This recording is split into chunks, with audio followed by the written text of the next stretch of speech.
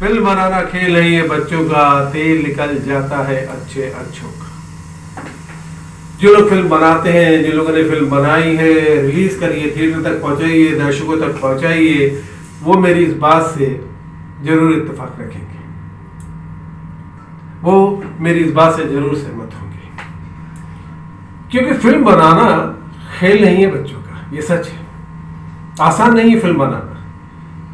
जिन लोगों ने फ़िल्म नहीं बनाई, उन लोगों को लगता है कि फ़िल्म बनाने में रखा क्या है? बस कहानी लिखो, एक्टरों को साइन करो, शूटिंग करो, फ़िल्म बन गई। लेकिन ऐसा नहीं होता। एक फ़िल्म रातों की नींद उड़ा देती है। होश उड़ा देती है। एक फ़िल्म बनी थी, जिसे बनने में नौ साल लग गए, आठ नौ साल। फ़िल्म को प्रोड्यूस कर रहे थे तरुण गुरुदत्त और डायरेक्ट कर रहे थे प्रमोद चक्रवर्ती इस फ़िल्म का नाम रखा गया तीन फरिश्ते। और जो तीन फरिश्ते थे, वो इंडस्ट्री के सुपर स्टार थे। अमिताभ बच्चन, धर्मेंद्र, विनोद खन्ना। और इतनी बड़ी स्टार कास्ट की फ़िल्म जब प्रमोद चक्रवर्ती जी ने अनाउंस करी, ये बात है सेवेंटी सिक्स की, तब सभी लोग चौंक गए। क्योंकि ये उस समय की सबसे बड़ी फ़िल्म थी। अमिताभ बच्चन, सुपरस्टार की दौड़ में शामिल थे, बनने ही वाले थे। धर्मेंद्र सदाबार हीरो थे, विनोद खन्ना अपने आप में स्टार थे इतनी बड़ी स्टार कास्ट की फ़िल्म उस समय किसी के लिए बनाना एक सपने जैसा था। तकरीबन पिछहत्तर के आसपास प्रमोद चक्रवर्ती जी ने इस फ़िल्म की प्लानिंग करी, एक्टरों को साइन वन किया, प्रोग्राम बनाया और 76 में इस पिक्चर को अनाउंस कर दिया गया। तीन फरिश्ते, धर्मेंद्र, अमिताभ बच्चन, विनोद खन्ना। अब पूरी बॉलीवुड की नज़रें इस फ़िल्म पे टिकी हुई थी। ऐसे में कुछ दुश्मन भी खड़े हो गए जिनका ये मानना था कि ये फ़िल्म तो कभी बन ही नहीं सकती, हो ही नहीं सकता। इतनी बड़ी स्टार का इतनी बड़ी फ़िल्म मुश्किल है।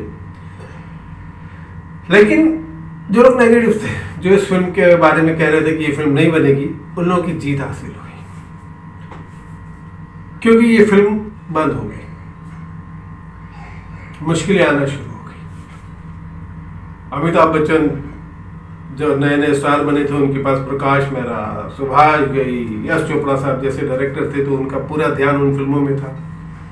मुकद्दर का सिकंदर, दीवार, हेरा फेरी। और धर्मेंद्र साहब तो सदाबार थे, उनकी तो कोई प्रॉब्लम नहीं थी, और जो तीसरे विनोद खन्ना साहब थे, वो थोड़ा उन दिनों डिस्टर्ब चल रहे थे। ये समय की बात है, जब विनोद खन्ना साहब फ़िल्म से संन्यास लेने की प्लानिंग कर रहे थे। तो ये जो सेटअप था ये बिगड़ना शुरू हो गया। तीनों स्टारों की डेट मिलना मुश्किल हो गई। अमिताभ बच्चन का शायद पिक्चर में कम ध्यान था। विनोद खन्ना अपने टेंशन में थे। सिर्फ़ धर्मेंद्र और हेमा मालिनी फ़िल्म में रह गए थे। तो अगर अमिताभ बच्चन ये फ़िल्म नहीं करते और विनोद खन्ना ये फ़िल्म नहीं करते तो धर्मेंद्र और हेमा मालिनी को लेके इतनी बड़ी फ़िल्म नहीं बन सकती थी जितनी निर्माता निर्देशक ने सोची थी। तो ये फ़िल्म उन्होंने बंद कर दी। लेकिन डायरेक्टर प्रमोद चक्रवर्ती का कहना था कि ये फ़िल्म जो हम लोगों ने लिखी है, ये फ़िल्म बहुत अच्छी बनेगी। इसको अगर बनाया जाए तो भले उसमें अमिताभ बच्चन ना हो, विनोद खन्ना ना हो, ये फ़िल्म हिट होगी। लेकिन ये उनका विश्वास था। दूसरों का विश्वास नहीं हो रहा था। तब प्रमोद चक्रवर्ती ने इस फ़िल्म को खुद बनाने का बीड़ा उठाया। और फिर से एक नए सिरे से वो चल, लग गए इस फ़िल्म में। लेकिन मुसीबतें जो थी, वो ख़त्म नहीं हो रही थी, क्योंकि जैसे ही इन्होंने फ़िल्म की शूटिंग की तैयारी करी तो विनोद खन्ना ने अनाउंस कर दिया कि वो फ़िल्म लाइन से संन्यास ले रहे हैं। वो जा रहे हैं फ़िल्म लाइन से।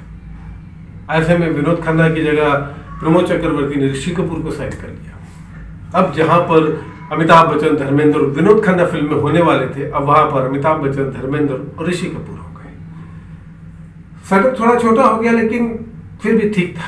प्रमोद चक्रवर्ती साहब को विश्वास था कि ये फ़िल्म इस स्टार कास्ट के साथ भी चल जाएगी। प्रोग्रेस थोड़ा और बढ़ी तो और प्रॉब्लम आ गई। अमिताभ बच्चन सुपरस्टार बन गए, बहुत ज़्यादा बिज़ी हो गए और अमिताभ बच्चन साहब ने भी ये फ़िल्म छोड़ दी। अब ऐसे में क्या किया जाए? अमिताभ बच्चन की जगह किसे लिया जाए? शुरुआत हुई थी धर्मेंद्र अमिताभ, विनोद खन्ना से, और अब फ़िल्म में ना अमिताभ बच्चन थे, ना विनोद खन्ना थे। धर्मेंद्र, ऋषि कपूर थे बस। लेकिन विश्वास था डायरेक्टर को कि ये फ़िल्म अच्छी बनेगी। इसलिए प्रमोद चक्रवर्ती ने सब कुछ भूल कर इस फ़िल्म को नए सिरे से बनाने के लिए प्लानिंग शुरू कर दी। पूरी की पूरी स्टार कास्ट उनने बदल दी। धर्मेंद्र फ़िल्म में रहे हेमा मालिनी की जगह जीनत अमान आ गई अमिताभ बच्चन की जगह मिठुन चक्रवर्ती आ गए। और विनोद खन्ना के बाद ऋषि कपूर के बाद ऋषि कपूर वाले रोल के लिए डैनी साहब आ गए। कास्ट बहुत छोटी हो गई क्योंकि मिठुन चक्रवर्ती उस समय नए नए आए थे। उनकी एक दो फ़िल्में ही हिट हुई थी, सुरक्षा वगैरह। ये मैं सेवेंटी नाइन के पहले की बात बता रहा हूँ। और डैनी साहब करेक्टर आर्टिस्ट थे। तो लोगों ने कहना शुरू कर दिया कि अब तो इस फ़िल्म का कुछ होगा ही नहीं। धर्मेंद्र, चलो ठीक है। जीने तमान भी ठीक है। लेकिन मिठुन चक्रवर्ती नए हैं। डैनी करेक्टर, आर्टिस्ट हाँ आप, अमिताभ बच्चन, विनोद खन्ना, धर्मेंद्र सोच रहे तो अब कहा धर्मेंद्र मिठुन चक्रवर्ती, डैनी? कुछ नहीं हो गया इस पिक्चर का। लेकिन प्रमोद चक्रवर्ती का जो विश्वास था, वो कम नहीं हुआ। उन्होंने इस फ़िल्म को शुरू किया धर्मेंद्र मिठुन चक्रवर्ती और डैनी। लेकिन मुसीबतें यहाँ भी खत्म नहीं हुई। इस फ़िल्म को बनने में भी चार पाँच साल लग गए। और ये फ़िल्म रिलीज़ हुई 84 में। कहा 75 में प्रमोद चक्रवर्ती ने इस फ़िल्म को बनाने का प्लान किया था अमिताभ, धर्मेंद्र और विनोद खन्ना के साथ। और कहा इनकी फ़िल्म 84 में जाकर रिलीज़ हुई नौ साल बाद।